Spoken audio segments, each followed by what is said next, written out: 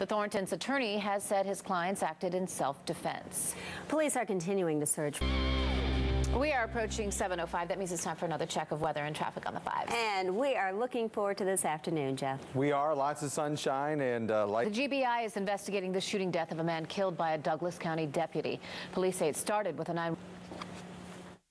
Police say they don't know what the motive was. Strong is facing various charges, including evidence tampering and obstruction. Workers who lost income due to Georgia's record floods have until next week to file for federal unemployment. The Disaster Unemployment Assistance Program has been set up to compensate. There in western Tennessee and western Alabama. Those will make it over here by Friday. Sunny and mild for today. A high temperature of 70 degrees. A light variable wind and show you 285 near Glenridge, top end perimeter, and it doesn't look bad here. Eastbound and westbound moving pretty well. More coming up, traffic and weather together. Suchita. Thank you, Cheryl. Our next guest rose from poverty to become a. You were 12 years old. Can you tell me mm -hmm. about how you brought that uh, to fruition?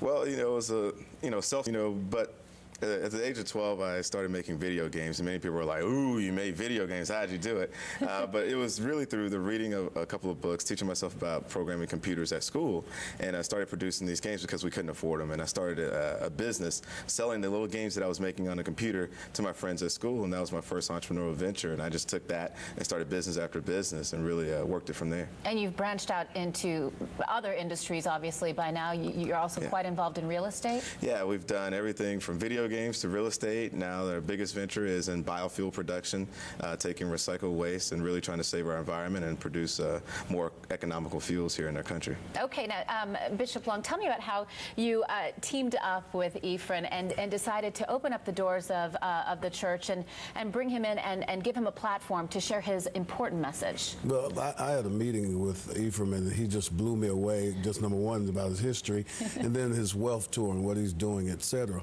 What there's no greater time than right now to instill hope in people with the high unemployment and all of that. And so I just felt compelled, absolutely necessary, that uh, he can he has a message that yes, you can, and to let people know, even young, old, whatever, that there are all types of opportunities still available, and it's really a, a different ways of thinking about things, and yet hard work. All those things pay off, and with that, his story and his proven track record, it's just it just goes hand in hand. Yeah, so inspirational. You've been yeah. called uh, an architect of wealth.